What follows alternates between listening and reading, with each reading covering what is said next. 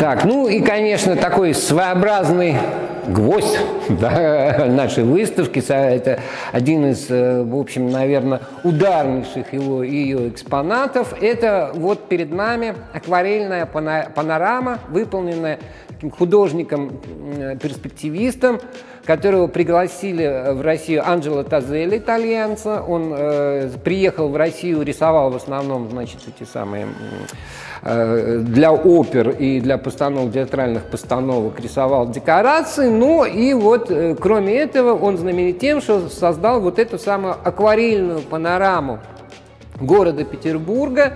Выполнена она со здания Кунсткамеры.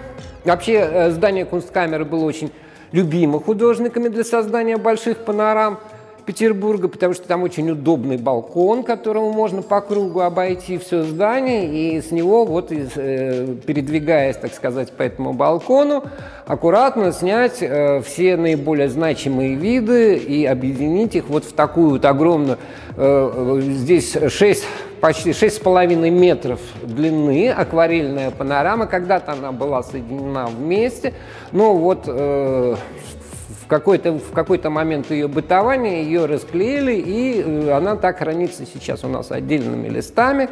Но вот мы ее собрали вместе, чтобы вы могли представить, что это был, как это было изначально. То есть да, э, вся панорама берега э, Невы от э, двор, здесь начинается от дворцового, дворцовой набережной, от Зимнего дворца зданий вдоль, ну, это самое, вдоль Адмиралтейства, дальше э, Сенатская площадь, мост через э, у Сенатской площади, Дальше здание 12 коллегий на Васильевском острове, потом мы переходим там еще на Стрелку, и на вид на Петропавловскую крепость, и снова возвращаемся, так сказать, на этот самый, к той точке исходной, э, э, которой мы начинали, то есть вид на Дворцовую набережную.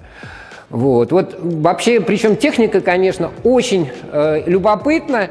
Это акварель, то есть художник вначале прорисовывал все э, основные оттенки, так сказать, э, э, акварелью, а потом по акварели тушью пером или тонкой кистью прорисовывал вот эти вот детали зданий, фигурок, э, э, сюжетов, лодочек и всего остального. То есть вообще такая многодельная, безумная абсолютно работа.